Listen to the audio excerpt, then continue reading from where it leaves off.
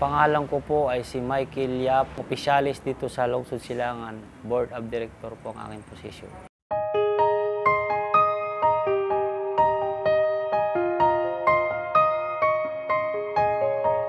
Nagbaniho man ako sa tracking, tapos nag-jeep ng biyag Marikina bago pa napunta dito.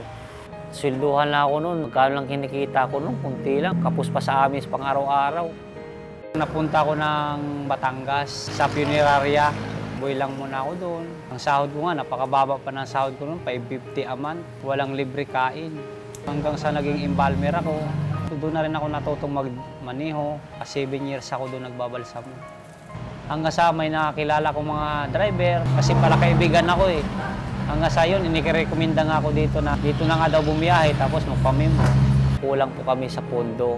Kaya napagkasunduan po namin, lumapit nga po sa kabuhayan para sa barangay na doon lang po nga kami mangungutang. Uh, iba man pag nangutang ka, marami pang kailangan. Samantalang certification lang, nakautang na kami. At na-aproban din po naman kami kaagad.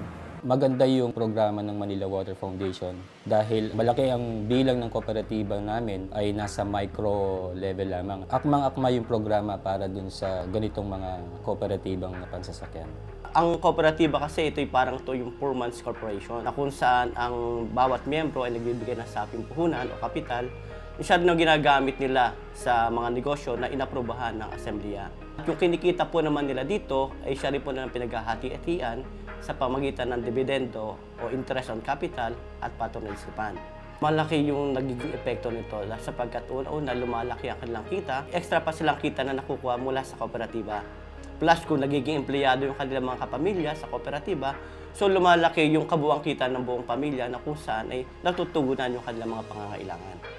Actually, I learned already in the area na mayroong mga existing na mga cooperatives. Through me, as a senior territory manager of Manila Water in the area, parating ka sa kanila yung good news na binibigay ng ating company through uh, Manila Water Foundation. Napakaganda po sinabi sa amin ni Sir Rumi. Ang sabi ni Sir Rumi, magpapautang daw yung Manila Water Foundation ng pangkapital at yun daw po ay walang tubo. Ayun po yung pauna naming kapital dito sa aming auto supply. Ang una-una po din yung gulong, baterya. Then, ito na rin yung ibang mga spare parts ng makina na pinambili naman gaya ng piston ring, piston. So doon po namin yung ginamit yung 100,000.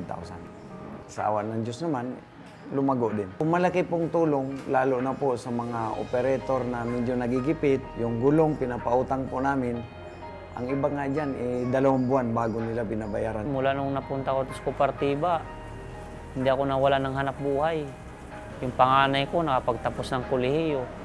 Tapos yung pangalawa kong anak ngayon, graduating na naman ng kolehiyo. Doon ako nagsimula nakaipon, napagawa ko yung bahay ko, yung mga kuprasan ko sa Leyte yun ang ebidensya sa akin na magpatunay na malaking nitulong sa akin ng kooperatiba. Walang porsyento, walang tubo. So paano mo makalimutan? Eh, mayroong isang uh, foundation na nagpapautang na walang tubo. Gusto rin naming uh, halos lahat ng kooperatibang pagsasakyan namin sa aming tala ay makapag-avail nito. Bigyang importansya yung tiwalang ibinigay ng Manila Water Foundation. So gusto ko talagang mas lalong maging matagumpay talaga itong programa natin na kabuhayan para sa barangay. We hope and pray na madagdagan yung bearing loan sa kanila. Kung pwede may double siya. Sa mga kasamahan o mga kagaya naming kooperatiba, ang isa ko lang sanang mensahe sa kanila, pag umutang tayo, bayaran. Paano naman ang Manila Water Foundation, yung programa nilang kabuhayan para sa barangay, mapalago at maibigay pa doon sa iba pang mga kooperatiba kung hindi nila bayaran. So ang advice ko sana, bayaran nila yon para makatulong pa sa iba pang kooperatiba. Ang mga sabi ko lang sa ibang mga kooperatiba, subukan din lang mag-apply sa kabuhayan para sa barangay ng Manila Water Foundation kasi wala kang interest. One year mo siyang babayaran hindi mabigat siyang hulugan. Matulungan din naman sila, katulad sa amin.